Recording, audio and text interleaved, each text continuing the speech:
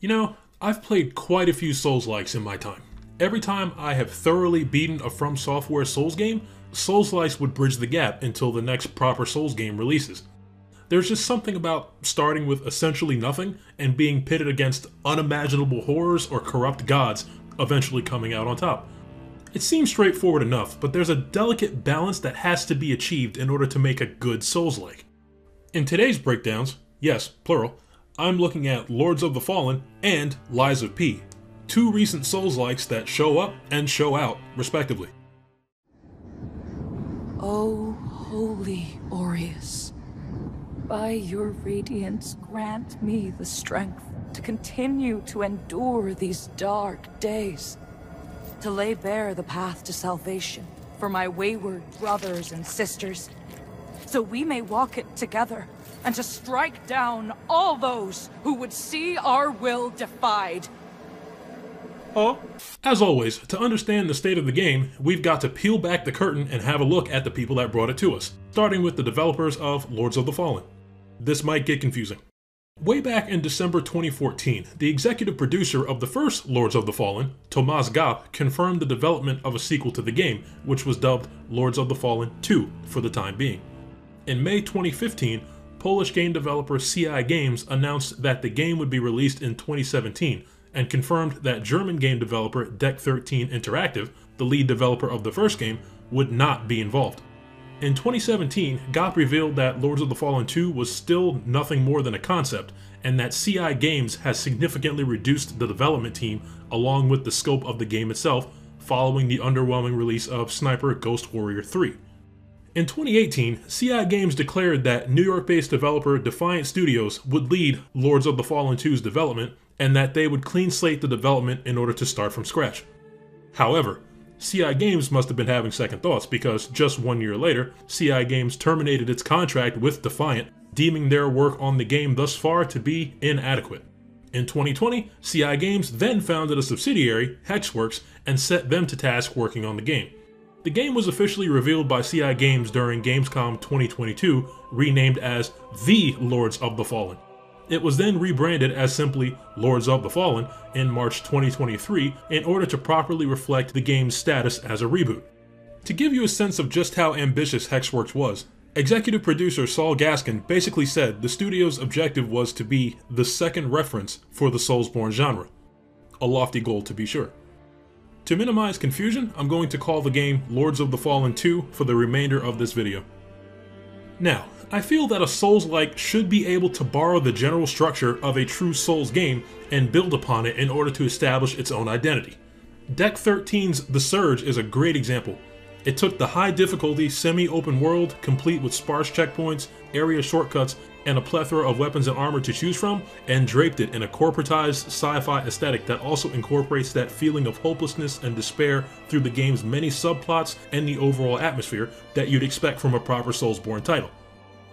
I remember the first Lords of the Fallen was one of the PlayStation Plus free games from September 2016. I was much less discerning about what games I played back then, but I knew one thing for sure. Lords of the Fallen did not look to be worth any amount of money. Naturally, when I got the game for free, I figured I had nothing to lose, so I gave it a go. I recognized that the game was rough and unpolished, but I still enjoyed it for what it was. In Lords of the Fallen 2, all the Dark Souls staples are present. Choose a class to start the game as, which determines your starting level, stats, weapons, armor, accessories, and items. Learn the basics of the game through fighting a handful of enemies, and use those basics to beat one or two bosses before making it to the main hub of the game. After that, gain a base understanding of the abysmal state of the world and what you're going to do about it. Exploring for new weapons, armor, and items, fighting small monsters, big monsters, and gigantic monsters, all of which pose roughly the same amount of threat to your livelihood, and learning their attack patterns through many straight up unwarranted or aggravating deaths.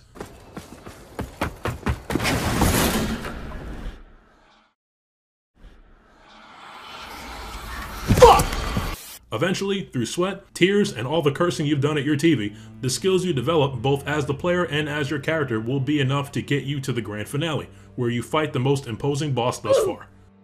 Lastly, you finally complete the game and feel a positively refreshing sense of accomplishment and a well-deserved sense of smug superiority wash over you. Then, you enter New Game Plus and do it all again. As far as the aesthetic and atmosphere, Lords of the Fallen 2 is very much knights and magic with a modest dose of body horror, and a once proud kingdom now reduced to rubble and overrun with unholy abominations. And I'm very much on board with that. Style wise, it sits somewhere between Blasphemous and Agony. So, what sets the game apart from other Souls likes? One mechanic that stands above all else in the game is the Umbral Lantern. The Umbral Lantern is essentially a doorway. On one side is Axiom, the physical plane, where you spend most of your time by default. On the other side is Umbral, the death plane, and your understanding of the two worlds is crucial to making it anywhere in the game. In Axiom, things operate as you'd expect a Souls game to explore, kill enemies, and find items. When you cross into Umbral, whether you wanted to or because you died while in Axiom, you'll encounter all the enemies that are still alive in Axiom on top of the enemies that only exist in Umbral, and the additional enemies that will spawn while you are in Umbral. Basically, the longer you stay in Umbral, the more frequently additional enemies will spawn, and the more dangerous these additional enemies will be. If you stay for too long, something called the Crimson Ritual will begin, where some overpowered enemy in red robes will pursue you no matter how far you go and attempt to forcefully remove you from Umbral, as in kill you. When you die, you respawn at the nearest ancient vestige, this game's equivalent of a bonfire, and your vigor, this game's equivalent of souls, is left with the enemy that killed you. Fortunately, you can make good use of the Axiom Umbral transition during boss battles, since you'll essentially get two lives in every boss fight. Unfortunately, sustaining damage in Umbral applies Wither to your health, turning a portion of your health bar gray, requiring you to deal damage to an enemy in order to gain that withered health back without using an item. Also, unfortunately, your Sanguinarix, which is your primary method of healing, only heals half as well in Umbral as it would in Axiom. Two last tidbits about the Umbral Realm and the Umbral Lantern. One, some areas in Axiom can only be progressed through using obstacles or bridges within the Umbral Realm. If you see a gathering of white moths somewhere, shine your Umbral Lantern on that spot to reveal something you should interact with or find a way to remove in the Umbral Realm.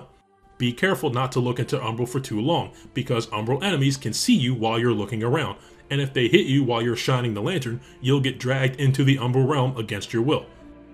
You can manually enter Umbral whenever you want via the lantern, but to return to Axiom without dying, you'll have to use the rest function at any vestige or find an emergence effigy, which are found in a limited number in each area. The other thing, if it's been a while since you've seen a vestige, look for an Umbral flower bed. When you're near one, you'll see vines decorated with white flowers on the ground and your Umbral Lantern icon will flash. You can use an item called a Vestige Seedling, which can be found or bought throughout your adventure, to plant a vestige in that flower bed, which can do everything a normal vestige can. You can only have one planted vestige active at a time, and because you really don't know when the next real vestige or area shortcut will happen, you're almost guaranteed to waste your vestige seedlings every time. Your Umbral Lantern and Sanguinarix can be upgraded to improve their functionality and benefits, so as long as you're exploring and picking up every item you see, you'll have both fully upgraded in no time. Lords of the Fallen 2's combat, while being better than the previous game, still has its issues. Controls are much more responsive than the first game, which feels so, so good. But since they made the game noticeably more fast paced than its predecessor, it feels floaty. Enemy weapon swings will sometimes hit you even though they shouldn't, because their attack swings will either slide them 20 feet to connect with you, or the attack itself will remain active even when the attack is over.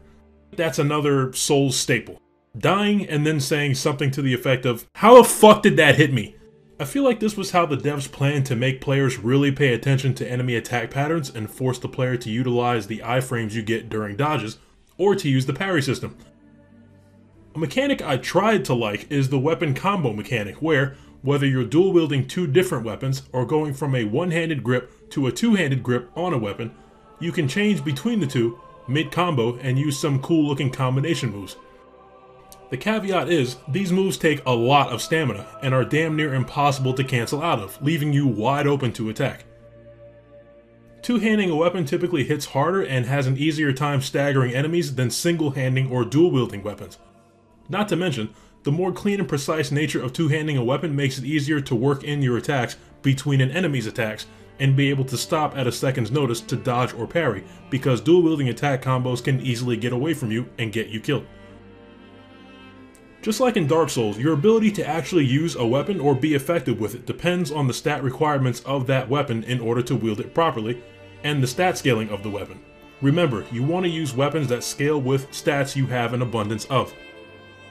There were quite a few parts of Lords of the Fallen 2 that garnered criticism, such as the density of enemies in a lot of the areas of the game, the amount of health the constantly spawning Umbral enemies have, graphical glitches, stuttering, and things like that. Since the game's release, Hexworks has been hard at work squashing bugs and tweaking things in order to ensure the game is, you know, playable. And I can confirm it has gotten a bit better to play since launch. Enemy density was one of my main gripes about the game. A true Souls game may have one or two dozen enemies between one bonfire and the next, but Lords of the Fallen has enemies left, right, and center, up high, and down low, which made my initial playthrough feel like a tiring slog through each and every area I visited. After about 20 hours, I was praying for the end. Instead of each section of the game getting me excited about what weapons and armor I would find or what the next area might bring, the number of enemies I would have to fight through got to be so exhausting that after a certain point, I just ran around them all in order to make some kind of meaningful progress. Less of a bug and more of a personal grievance of mine is the game's navigation. You typically don't get any kind of map in a Soulsborne game. Lords of the Fallen 2 decided to give you a map for each area, but it's more akin to a greatest hits collage of sketches of statues or points of interest in the area, so not a map at all. Then, there's the fast travel you can do between vestiges. Each ancient vestige location will have the name of the vestige, an accompanying location name that goes with it, a picture of where the vestige sits, and a little paragraph that fleshes out the relationship of that vestige to that location. All that is fine and dandy, but the few times I need to go to an exact location, I can never figure out what vestige would get me the closest to where I needed to be. This was especially frustrating when I had to locate an NPC that wandered off for a questline or when I had to find the sixth and final beacon to cleanse in the main story, because all you can do is get to higher ground, look out over the horizon to see what direction the red sky beam is in, and then try and figure out which vestige you've previously visited is closest to the beacon you're trying to get to. Lastly, the lock-on function, which is supposed to ensure your attacks target the specific enemy you want to attack, is very finicky.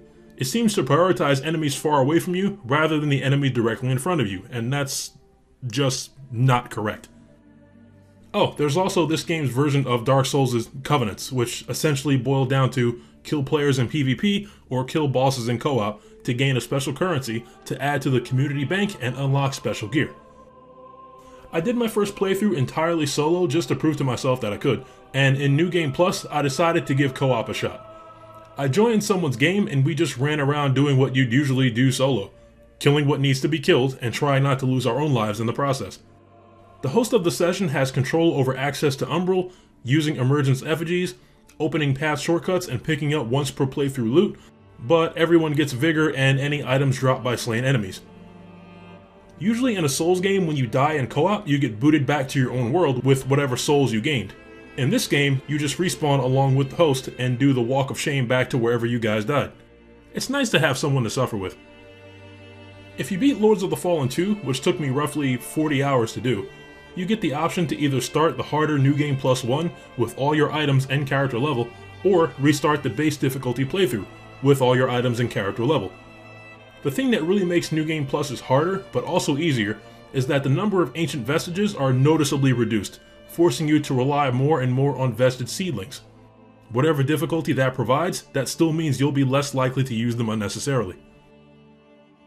In my own opinion, I think that pulling the game from Deck 13, the developers of the first Lords of the Fallen, was the worst thing that could have happened to the sequel. If anyone would have truly understood where the first game lacked and how it could be improved, it would have been Deck 13. The Umbral Realm and the Lantern were definitely unique additions to the tried and true Souls formula, but that's where I feel this game's individuality ends. Either way, with the fixes and changes still to come, and the free additional content that's on the way, Hexworks is doing their best to round out the experience and keep players coming back. I wish them luck. Have you ever heard the fairy tale about a mischievous wooden puppet? All of Krat knows the story, all because of someone who loved that story more than anyone else. Uh, but this is strange. I, I do not recall. Who exactly was that someone? On to our next subject. Of P was announced on May 19, 2021 by South Korean developer and publisher NeoWiz. Director Ji-won Choi stated the game had been in development for about three years and the studio chose Pinocchio as the theme in order to appeal to a wider fanbase.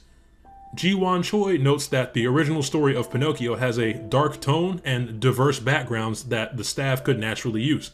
They chose to set the game in a Belle Epoque-esque environment in order to properly encapsulate a city's transformation from opulence to ruin and convey a period of unparalleled cultural and artistic prosperity, yet severe darkness and negativity.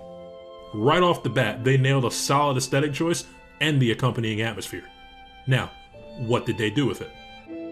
Lies of P starts you off by having you select a combat style, which they are, but also aren't. I'll explain more in a second.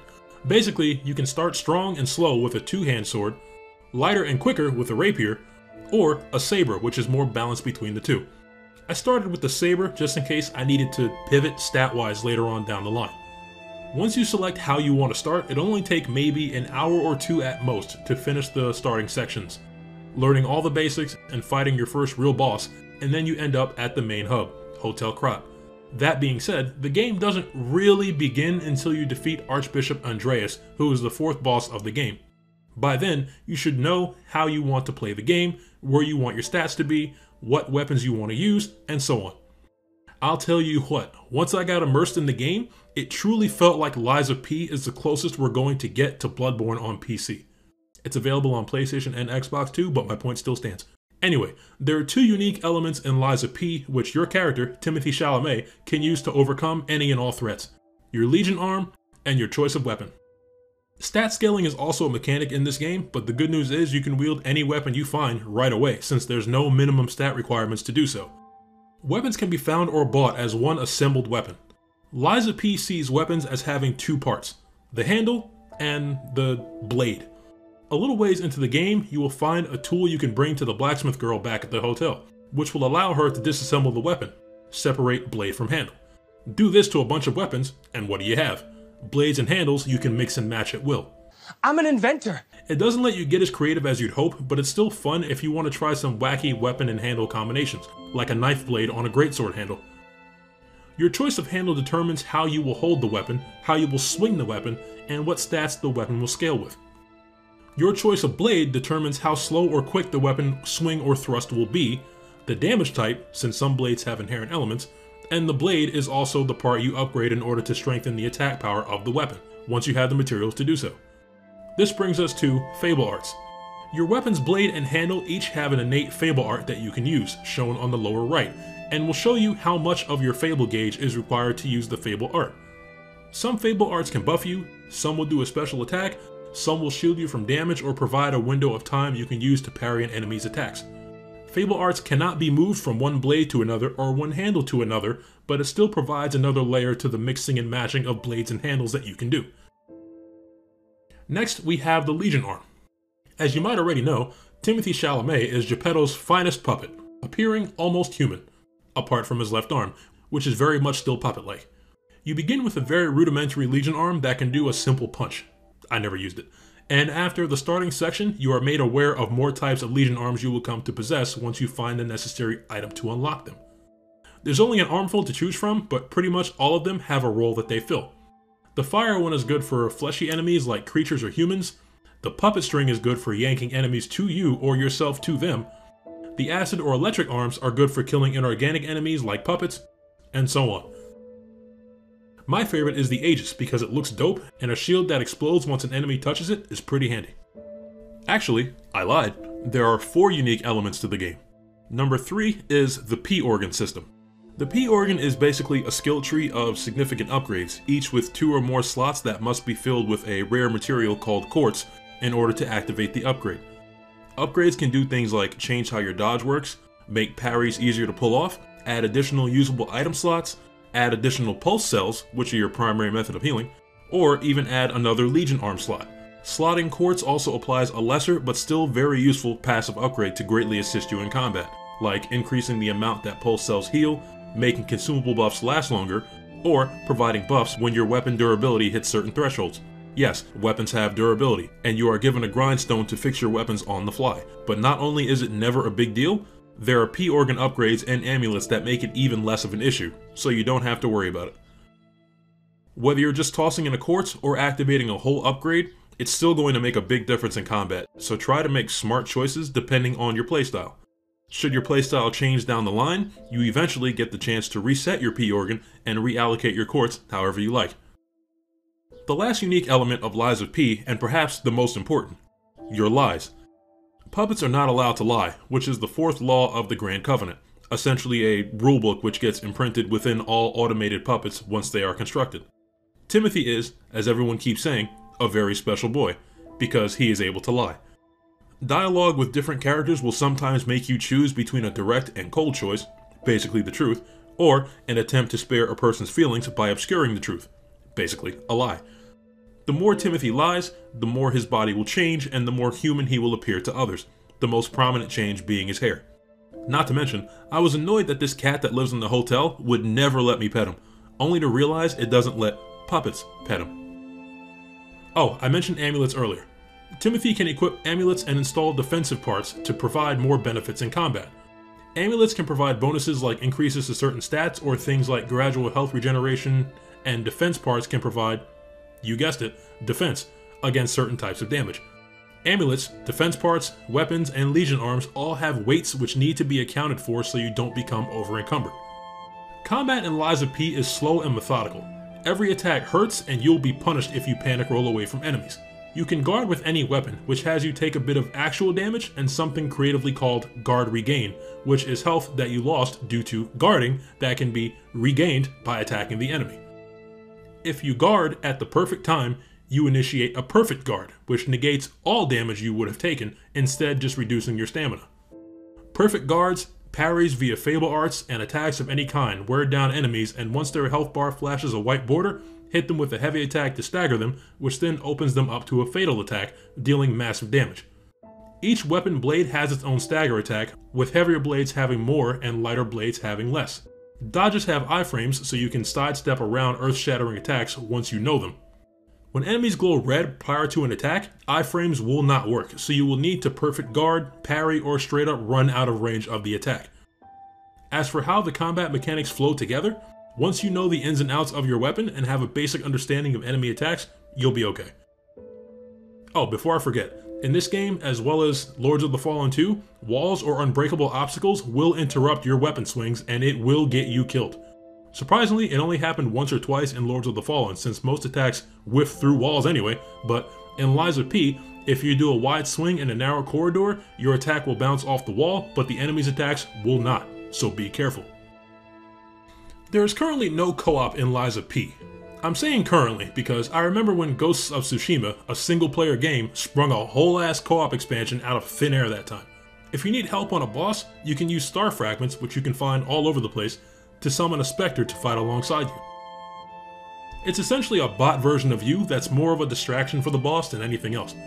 As with any co-op and a Souls-like boss battle, it makes it harder to tell who the boss is aiming their attack swings at, so I typically run solo. The nice part is that if you die in a boss fight, your Ergo, which is this game's version of Souls, will be dropped outside the boss room door, and that is a very welcome change from the norm. An unwelcome change is that for every time you get hit prior to picking up your dropped Ergo, you lose a portion of your dropped Ergo, meaning you can either run straight to your dropped Ergo to get it all back, or take your time and kill whatever stands between you and your dropped Ergo, having that much more of it when you finally recover what you dropped. Since I mentioned the poor navigation and sense of direction in Lords of the Fallen 2, I feel compelled to discuss how much better it is in Lies of P. The bonfires in Lies of P are called Stargazers, which you can use to rest and recover, switch Legion arms, and a bunch of other things. Namely, fast travel to other Stargazers. The Stargazers are neatly categorized by region, given a name, and a picture for reference. Not once did I not know where I was going, whether I was walking or fast traveling. On top of that, if you need to talk to a specific NPC that is not at the hotel, or a quest item needs you to go to a certain location, an icon showing the NPC or the quest item will be placed next to the name of the stargazer your person or place is closest to. It's so simple, yet so significant. Dark Souls could even benefit from that. I took my sweet time in Lies of P, finding all the equipment I could, completing all the quests I could, and enjoying every bit of it with my first playthrough completed after 38 hours. There is a new game plus mode that you can start directly after, where everything carries over except for key items and the supply boxes you can give to the merchants at the hotel to unlock more items to buy. You also gain access to an additional group of P organ upgrades to unlock, or you can reset your P organ entirely for an added challenge. Remember that SpongeBob episode where King Neptune made a platter of like 100 Krabby Patties that were all bland? But SpongeBob took all that time and care to make that one single perfect Krabby Patty? Lies of P is that Krabby Patty. I can't call Lords of the Fallen 2 a bad game, but I can't recommend it either. Whether it's by design or by accident, Lords of the Fallen is bigger, with 171 weapons, 32 shields, 88 armor sets, 64 magic spells, and a huge world to run around in but it can't replace the heart and soul of a well thought out game, much less a well thought out Souls like. It's quantity over quality, and Lords of the Fallen 2 does not, to me, have enough quality. On the other hand, Lies of P is smaller in scale and paced a little more slowly. There's a smaller number of areas to run around in, a modest number of weapons and equipment to find, a small collection of outfits to choose from, and less enemies to worry about. But the fewer options give rise to a much more refined experience since each weapon, legion arm, trash enemy, or big boss was crafted with a clear purpose in mind, and everything comes together masterfully. Both games have their distinct positives and negatives, but at this point in time, Lords of the Fallen has more negatives than positives, and I feel like that is the most objective conclusion I can draw after having played both that and Lies of P from start to finish. Like I said earlier, I really think Lords of the Fallen 2 was doomed once development was taken from Deck 13, with the vision of the end product being clouded more and more each time the project got tossed to a different studio. If being better than Lords of the Fallen 1 was the bare minimum goal, I would say they nailed it. However, any accolades beyond that are up for debate. But that's just my two cents. Lords of the Fallen and Lies of P are both available now on the PlayStations, the Xboxes, and PC. They were both just on sale, so I'm sure they'll be marked down again soon. Lies of P is worth every penny, but if I were you, I would wait for Lords of the Fallen to go on sale. If you enjoyed the video, make sure to leave a like and subscribe if you want to see more. This has been your Slayer of Lords and Master Puppeteer, Cygnus Jason, and I will catch you all on the game side.